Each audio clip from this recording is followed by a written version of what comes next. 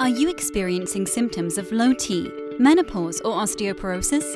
Don't let these stop you.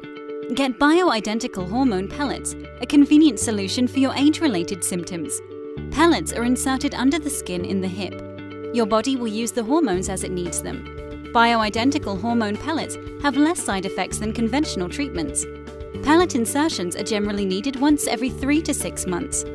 You don't have to suffer from pain. Call us now for a free consultation.